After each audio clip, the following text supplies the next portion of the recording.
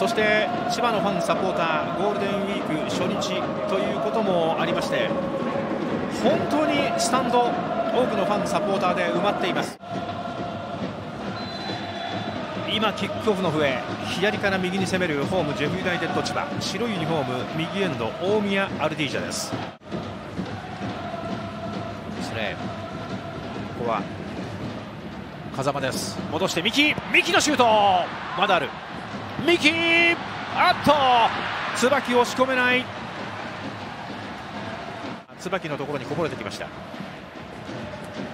そうですねこれはもう右選手の得意な形でこれも振り向きざまのシュートですよね。ただ今シーズン右選手のゴールが今これ12試合目ですけどまだないんですよね、はい、それが JF がどちらが先にネットを揺らすのか2023明治安田生命 J2 リーグ第12節ジェフユナイテッド千葉対大宮アルディージャ後半が始まっています。どうしても新井選手、鈴木選手にマークがつけばあとブワニカ選手の高さもありますからね。それ以外に空くところが出てくると思いますよね。ニアにブワニカ。さあどうだヘディング!先制ジェフユナイテッド千葉!コーナーキックから先制ゴールが生まれました。53分。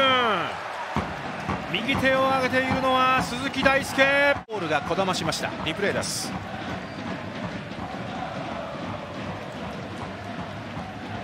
そうですね。これ鈴木選手相手に挟まれながら自分の落下地点にうまく体入れてますよね。で後ろに当てるだけで精一杯なんですけどいいコースに飛びましたよね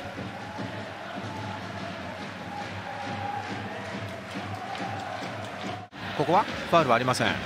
三木が痛そうにしている。ただプレーは続いています。フリーになる田中西久保が外を回る。西久保だ。